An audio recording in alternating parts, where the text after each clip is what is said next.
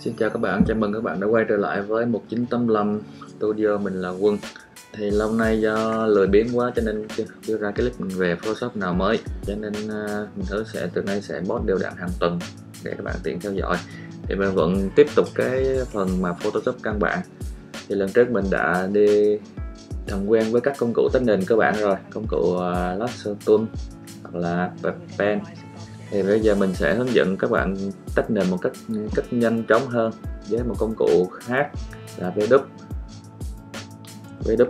Thì trong công cụ VDUP này, bạn nhấn VDUP trên bàn phím.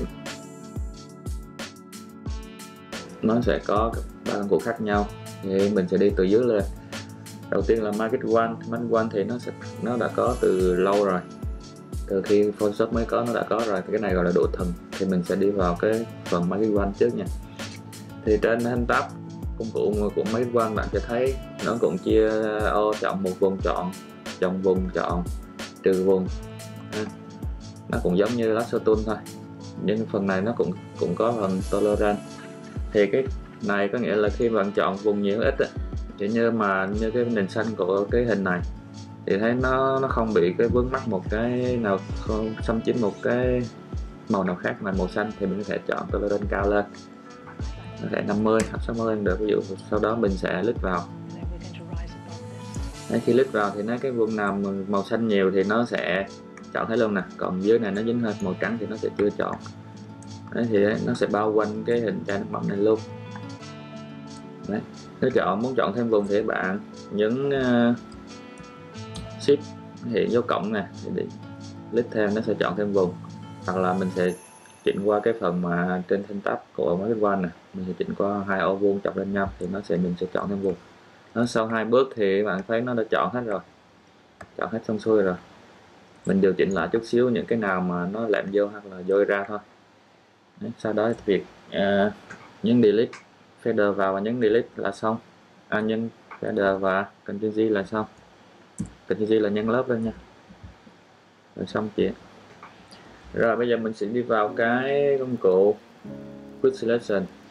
Quick selection nó này, nó sẽ hiển thị là cái bút thì cái lúc mà mình chọn xong nó hiện ra cái vòng tròn có dấu cộng ở giữa. Cái dấu cộng này là cái nghĩa nó nó đang chọn vùng. Còn cái vòng ờ, lớn hay nhỏ là chọn vùng nhiều ít. Cái này áp dụng chứ vì khi mà mình chỉ cần click vào thôi là nó sẽ tự chọn, nó tự động nhận diện những cái vùng nào giống giống nhau, nó sẽ chọn còn các bạn muốn an toàn hơn thì mình cứ để cho cái vòng nhỏ lại và mình dựa chuột trái mình quét. Thì nó sẽ đi chính xác hơn. Đó. khi mình dựa chuột trái mình quét chút xíu thì nó cũng đã chọn vùng hết rồi. Rất là nhanh không cần phải dùng lasso tool hoặc pen để cắt. À, như cái mấy cái vùng này mình nó hơi lẹm vô nè thì mình sẽ dùng công cụ lasso tool quanh vùng tự do và chọn cộng vùng nha hoặc là trừ vùng. Ví dụ như cái này là trừ vùng này thì mình nhớ sẽ nhấn alternate để mình trừ. Nếu muốn kỹ hơn thì dùng uh, cục poly để mình cắt hoặc là dùng pen để trừ vùng ra. Đó. như này nó bị ăn do này mình trừ ra. Nhấn alternate chọn nó sơ và trừ ra. Nghe vậy là xong. Header vào. Bạn nhấn Ctrl G nhân lớp ra. Rồi tiếp theo một cái công cụ trong cái này nữa. Mình sẽ chỉ hết cái cơ bản này xong rồi mình sẽ đi tiếp. Rồi object selection. Thì cái này trên này nó có phân mode nè. Là cái nghĩa là chọn theo vùng tự do hay là chọn theo cái hình học. Thì ví dụ mình chọn hình học mình quanh hết mình muốn cắt cái chai nước mắm này thôi. Bao quanh hết. Đó, thì nó sẽ tự động nhận diện và nó sẽ bao quanh cái nước mắm thôi cách này cũng ờ, nhanh nhanh hơn cách, những cách kia. Nhưng mà đối với những cái mà màu sắc nó phân biệt rõ ràng, ví dụ màu xanh, màu đỏ thì nó phân biệt rõ ràng, nó sẽ chọn nhanh hơn. Hoặc là bạn muốn chọn tự do, mình đợi qua lá xô, mình chọn tự do. Mình quay bao quanh và mình ờ, thả chuột ra là xong. Nó đã chọn xong xuôi, còn lại mình chỉ việc ờ, chỉnh điều chỉnh lại cho nó hoàn chỉnh rồi đối với các cái khác được ví dụ như là hình bốn cái ghế này. Mình cũng có thể chọn uh, Selection để mình bao lại. Chọn hết bốn cái ghế. Rồi chờ. Đấy, thì nó sẽ nhận diện những cái cạnh ghế. Nó sẽ chọn uh, vùng hết này. Nó rất là nhanh. Mình sẽ chỉnh sửa lại những cái mà thừa hoặc là vô ra thôi đây có tấm hình khác như tấm hình này. Mình cũng sẽ chọn hết vùng hình người. Đó, nó cũng sẽ bao quanh hình người hết. Cái cái background này thì với cái quần jean này nè là cùng màu xanh hết nhưng mà nó sẽ nhận diện được cái cạnh. Nó sẽ nhận diện được cái cạnh để nó bao quanh lại.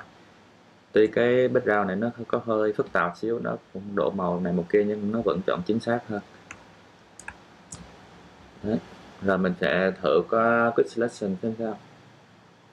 Quick selection thì các bạn có thể chọn ngoài background, hoặc là chọn phía trong ờ, người mẫu đều được. Nhưng mà trong những trường hợp này thì mình sẽ chọn ờ, công cụ object selection thì nó sẽ nhanh nhất. Đấy. chỉ khoanh lại và nó sẽ bám theo vùng đối tượng. Mình chỉnh sửa lại chút xíu, là mình đã chọn được vùng rồi ví dụ tấm hình này cũng vậy. Đó. Thì cái này nó đối với những cái phong nền mà nó không quá phức tạp, kiểu như ờ, chụp, gọi là chụp trong phòng studio thì nó sẽ bám theo, nó tách nhanh hơn. Nhưng phong nền trắng, nền đơn giản, nền một màu thì nó sẽ chọn rất là nhanh. Đấy. sau mình chỉ điều chỉnh lại thôi còn những ví dụ chụp ngoài cạnh nó hơi phức tạp thì nó cũng sẽ bám được hết. Nhưng mà nó sẽ không có mình mình phải điều chỉnh lại chút xíu nữa cho nó hoàn thiện. Ví dụ như cái hình này áo trắng nền trắng. Nhưng mà quan trọng là nó sẽ nhận diện được cái cái viền để nó bám vào đối tượng. Tuy là màu trắng nền trắng cùng màu. Đó một cách ờ, uh, tách phong rất là nhanh rồi ngoài ngoài dùng cái công cụ ờ, quick selection này thì mình có một cái khác để mình chọn nhanh hơn. Nó cũng tương tự thôi mình xài nào được ví dụ cho cái hình này mình sẽ có nhìn quản layer này mình lít đúp vào cho nó ra một layer tạo thành một layer. Rồi bên cái bạn property này. Nếu bạn chưa có cái bạn này bạn vào Window và chọn property ha thì nó sẽ ra cái bạn này. Thì khi mình uh, cho một tạo thành bạn một cái layer rồi thì mở cái bảng property này ra. Nhìn như phần quick action sẽ có cái hai thanh, remove background và select subject. Remove background này là khi bạn click vào thì nó sẽ tự động tách nền luôn. Nó tự động tách nền luôn. Đó. thì bên bảng layer thì nó sẽ tạo tự động tạo ra một cái à, mặt nạ. Thì cái mặt nạ này bài sau mình sẽ hướng dẫn về cái phần mặt nạ này hơn nên là cái này nó tách ra xong nhưng mà nhiều khi nó lại không có chính xác á. Ví dụ như cái này nó, nó bị cắt mất cái cái tay áo này. À.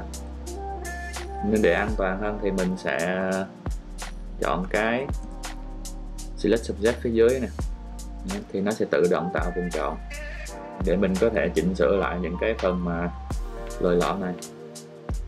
Sau đó mình uh, nhân lớp ra tách phong thôi đó, mình có thể chỉnh sửa lại được. Đó là cũng là một cách khác. Là cách nữa. Thì khi bạn chọn à, công cụ VDUP thì bạn nhìn trên tab trên tab này. À, công cụ nào cũng được. Nó cũng đều hiện ra cái select subject phía trên này. Đó. À, miễn là chọn công cụ VDUP thì trên này có hiện select subset thì nó cũng sẽ tương tự như trong mình mở các bạn vào property ra. Mình chọn bo select subset này. Thì nó cũng sẽ tự động khoanh vùng đối tượng nó cũng tương tự như cái này mình mới hướng dẫn. Rồi cái này là tự động tạo cái select mắt, hay là tạo thêm cái mặt nạ nữa. Nó cũng giống như cái remove background trong bạn Roberti ha. Cái này mình sẽ hướng dẫn kỹ hơn à, những bài sau. Rồi mình thử các hình khác ví dụ cái này mình click đúp vô tạo thành layer. Rồi trong bảng property này mình sẽ chọn select subset. Đấy, nó sẽ cũng khoanh vùng hết nó tự động nhận diện và khoanh vùng hết những cái ghế này. Thay vì mình chọn cái công cụ select subset trong trong cái VDUP mình khoanh lại hết thì mình chỉ việc mở bảng property ra và mình chọn select subject thôi thì nó cũng sẽ chọn hết rồi. Cái nào nhanh tiện thì mình làm thôi đó là về cái bài này là về các công cụ mà tách nền nhanh cách cách tách nền nhanh nhất. Cho các bạn thì nó sẽ áp dụng đối với cái mà trong phần chụp thì là là ok nhất. Những cái không nền đơn giản không quá cầu không quá rườm rà không có nhiều chi tiết thì nó sẽ rất rất là nhanh. Và bài hôm nay tới đây là tạm kết thúc. Mình sẽ hẹn vào một cái bài sau tổng hợp uh, hoàn chỉnh hơn để bạn uh, phối hợp các bài các công cụ mình đã dựng từ trước tới giờ. Đó, xin chào và hẹn gặp lại.